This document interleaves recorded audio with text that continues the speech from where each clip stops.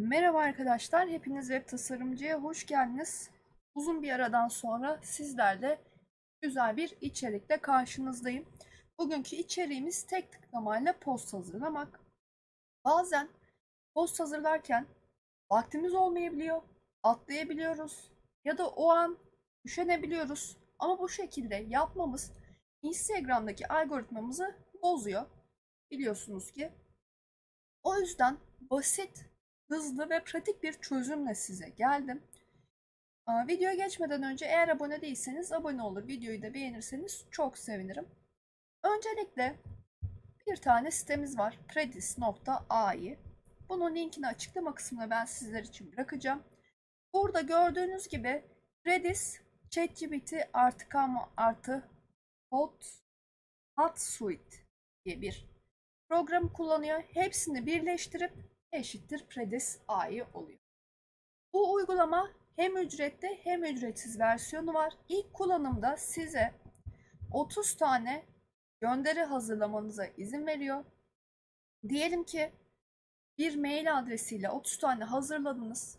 O an ücret ödeyemediniz, ödemek istemiyorsunuz. Yeni bir mail adresiyle yeni bir hesap açabilirsiniz. Ama size tavsiyem şudur ki kendi işletmeniz için, kendi Instagram hesabınız için bu bir yatırım bunu bir yatırım olarak görebilirsiniz. Çünkü ücret ödediğimizde daha fazla içeriye daha fazla olanağa sahip olabiliyoruz. Bunu kullanımı nasıl olacak?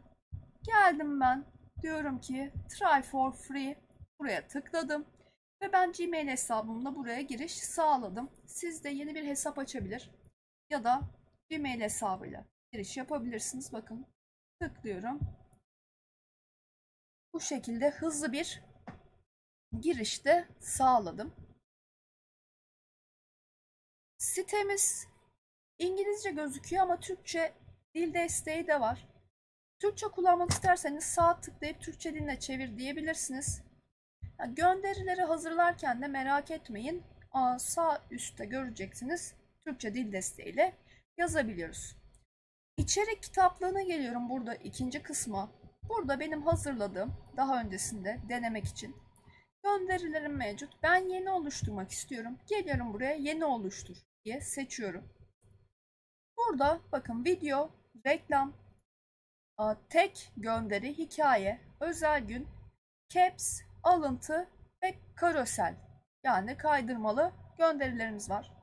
Ekstradan burada e-ticaret seçeneğimiz mevcut. Video yapmak isterseniz buradan yapabilirsiniz reelslerinizi. Bunu Shorts'ta da kullanabilirsiniz eğer uygunsa. Ben burada karosel yapacağım. Attı karınca diye çevirmiş. Oraya geldim.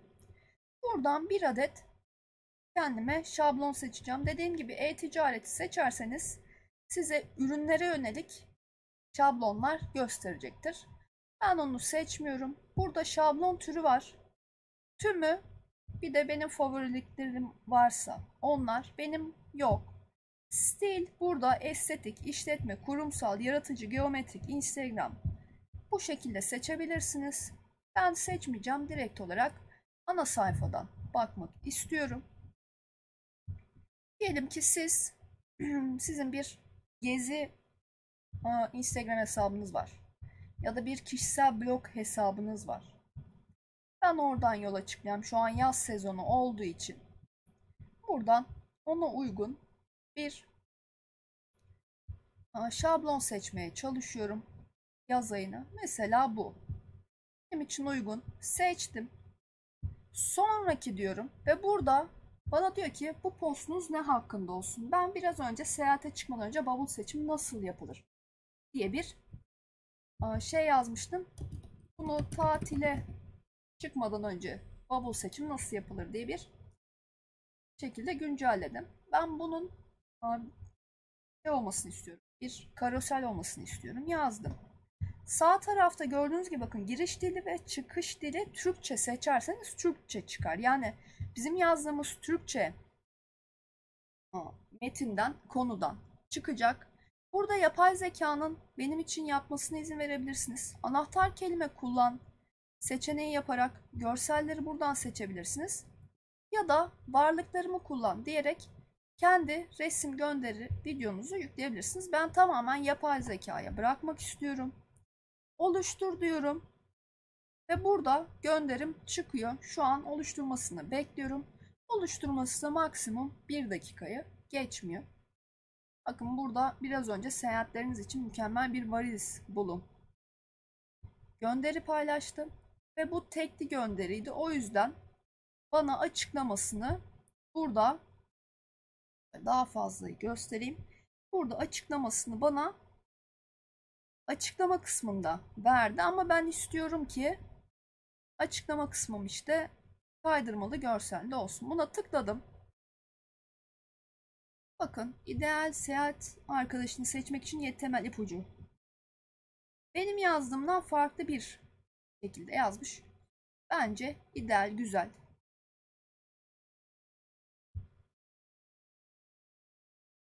Ben burada görseli beğenmediysem görselin üzerine gelerek medyadan görseli değiştirebilirim. Ama ben görseli beğendim.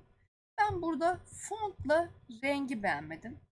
O yüzden örneğin ben beyaz fontunu seçiyorum. Rengini seçiyorum ve fontumu burada istediğim gibi değiştirebilirim. Buradaki fontların hepsi fark ettiniz mi bilmiyorum ama Canva'da da mevcut. Yani gerçekten Canva ile beraber sıralaması bile aynı. Canva ile beraber kesinlikle bir işbirliği içindeler. Bunu sildim. Bunu istemiyorum. Geldim buraya yapıştırdım. Koydum. Şöyle alt yazılara bakayım. Alt yazılarda ne mevcut? Alt yazılarda bir şey yok. Geldim. Bunu kaydetmediğim için şu an değişti. Ben beyaz seçiyorum. Metine tıklıyorum. Burada metinleri değiştirebilirsiniz isterseniz. Geliyorum buraya. Efekt kısmı var. Diyorum ki arka plan olsun. Arkada bir dolgu olsun. Yani bunu da böyle sarıya yakın seçeceğim. Daha turuncuya yakın. Bu şekilde değiştirdim. Benim için bu yeterli. Dediğim gibi daha sonrasında buradakileri de değiştirebilirsiniz. Hem görsel hem başka şey için. Buradan indirmeye tıklıyorum. Bakın burada paylaş seçeneği kullanarak içeri doğrudan yani ücretli plana davet ediyor. Ben daha öncesinde de gönderi kullandığım için bana indirme seçeneğini vermiyor. Ücretli plana geçmemi istiyor. Buradan paylaş kısmına basarak değişikliklerin kaydetmesini bekliyorum.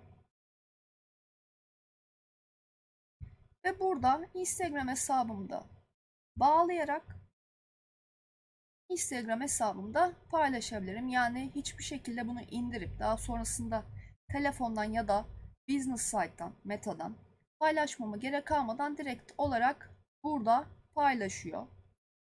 Diyorum ki Instagram'a bağla. Şeyi hatırlatırsam.